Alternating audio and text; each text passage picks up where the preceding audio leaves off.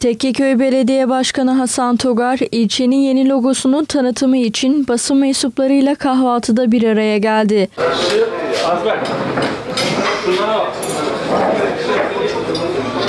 Başkan Togar, Tekkeköy'de önemli bir değişim olduğunu ve bunu belediyenin logosuna da yansıtmak istediklerini söyledi.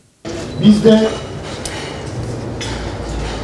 birlikte değiştirmeye çalıştığımız, değiştirmeyi planladığımız Tekeköy'ün logosunun da bunun çok önemli bir parçası olduğuna inandık ve meclis üyesi arkadaşlarımızla birlikte zannedersem 6 ay var. Çok ciddi ve profesyonel ekiplerden aldığımız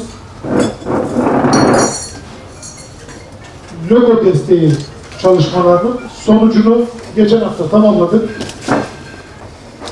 Bugün de sizlerle birlikte bunun tanıtımı için bir arada bulunuyoruz.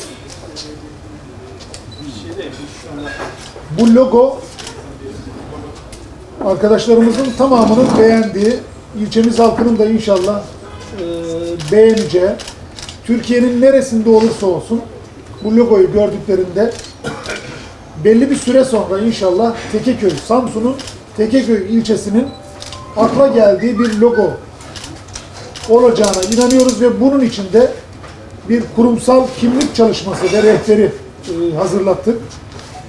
Biraz sonra size